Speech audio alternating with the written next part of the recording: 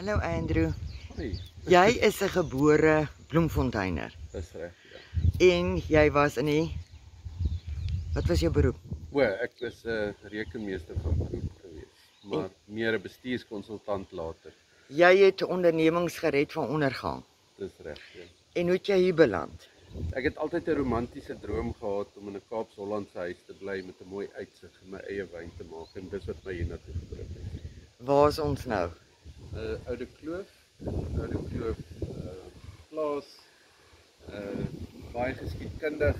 Ons het wat vir my baie na in die hart lê is die feit dat dit die begin is van die Forgotten Highway en uh, Jan van Riebeeck se manne um, 'n sending wat hy uitgestuur het onder leiding van Sergeant Jan van Harwarden en die landmeter Pieter Potter het in 1658 hier oor die berg gekom uh om uh, om te handel te dryf met die bevolking en uh dit is dan nou die begin van die hoofweg noorde toe. Uh so dit speel 'n baie belangrike rol in die geskiedenis van die Forgotten Highway, die begin daarvan en dis wonderlik om hier die guardian van die binneland te wees um en die geskiedenis wat hier afgespeel het.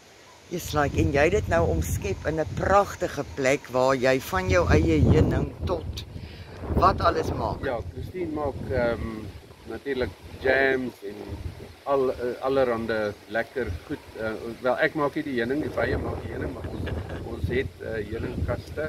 Uh, ons maak wyn, ons um, ons doen alles wat ons hand vind. Hoeveel wyne het julle?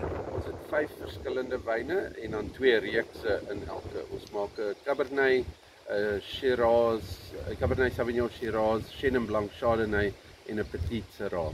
En uh maar twee twee verskillende reekse in twee verskillende style. En nou maak julle champagne ook. Ons maak 'n 'n MCC ook, ja. ja. Dis like.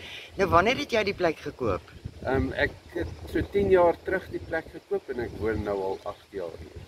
En hoeveel wooneenhede het jy? Ons het so ons het gaste plek, uh, ons het sewe eenhede vir gaste en ons is nou besig om nog 3 te vestig.